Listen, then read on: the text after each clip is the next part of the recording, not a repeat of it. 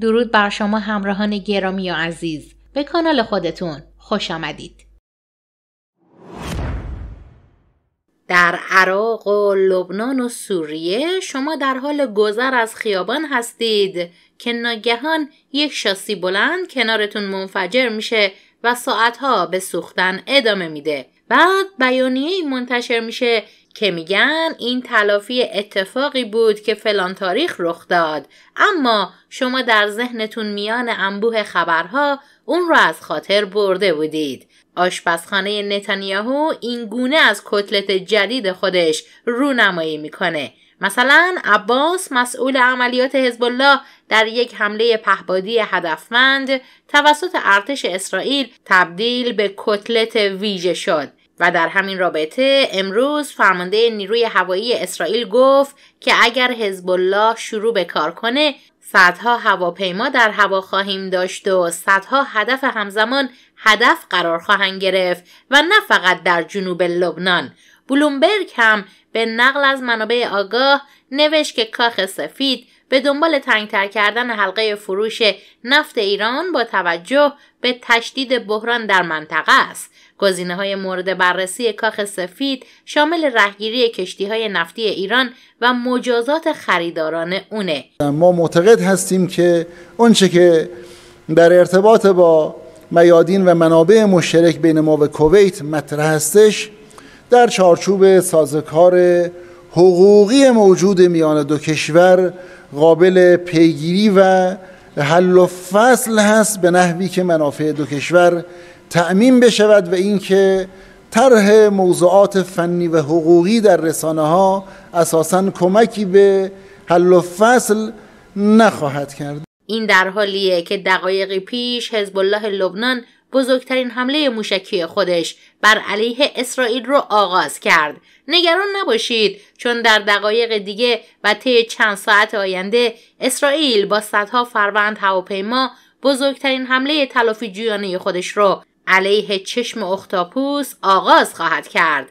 مثلا به همین تصویر دقت کنید گزارش هایی از بسته شدن صفحات علی خامنه ای در اینستاگرام و فیسبوک منتشر شده. صفحه فارسی خامنه ای در اینستاگرام بیش از 5 میلیون دنبال کننده fake داشته. یک وبسایت خبری به نام میدل ایست آی به نقل از سخنگوی شرکت متا درباره علت بسته شدن حسابهای رهبر جمهوری اسلامی اعلام کرده که این حسابها به دلیل نقض مکرر ختمش سازمانها و افراد خطرناک حذف شدن. گفته میشه انتشار محتواهای علیه اسرائیل علت اصلی بسته شدن این حسابها بوده. دوستان شک نکنید که پرونده خامنه ای و رژیمش بسته شد. چون رژیم جمهوری اسلامی به دستور خامنه ای مبلغ بسیار هنگفتی به معادل 1500 تریلیون دلار از کشور خارج کرد. این محموله پول که با یک فروند هواپیما با 637 پالت 100 میلیون دلاری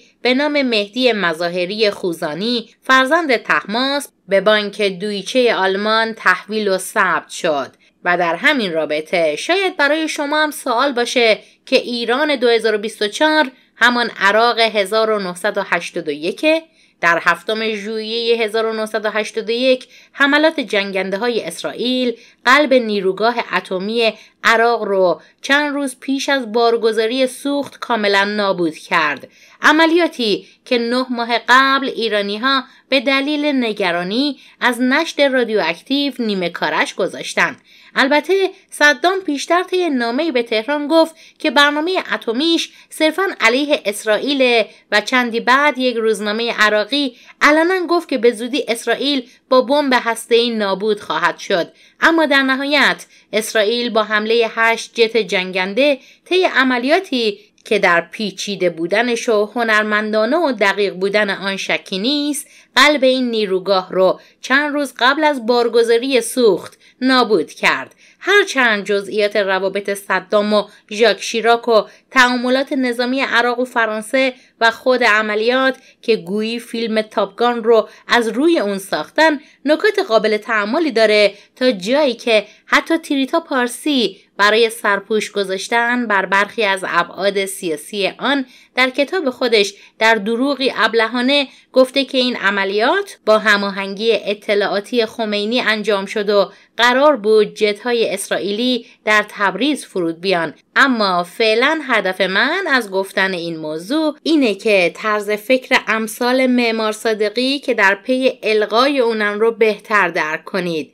از او باید پرسید که اگر مخالفت با جنگ جلوی اون رو نمی‌گیره چرا مدام در تلاشه که همگان رو قانع کنه به این حمله رضایت بدن؟ آنچه که او در پی اون هستش کاهش هزینه های که از آن آگاهید حمله به تأسیسات اتمی ایران اگر می‌تونست مثل 1981 عراق بی هزینه بدون احتمال گسترش جنگ بدون احتمال نشت تشعشع انجام بگیره دوستانش او را جلو نمینداختن چرا که در به در دنبال تحت فشار گذاشتن و رضایت نامه گرفتن ایران دوستانه. اگر چنین نبود مثل 1981 حتی بدون اطلاع رسمی رئیس جمهور آمریکا اقدام می‌کردند این افراد فقط در پی توجیه هزینه های گذاف بعد از این حمله ناگزیر هستند. تا هر بلایی سرمون اومد نه بتونیم اعتراض کنیم نه ادعای خسارت و نه ادعای میهم پرستی چون خودمون راضی بودیم. هر عاقلی می‌دونه که پیروزی با ارتش 80 میلیونی مردم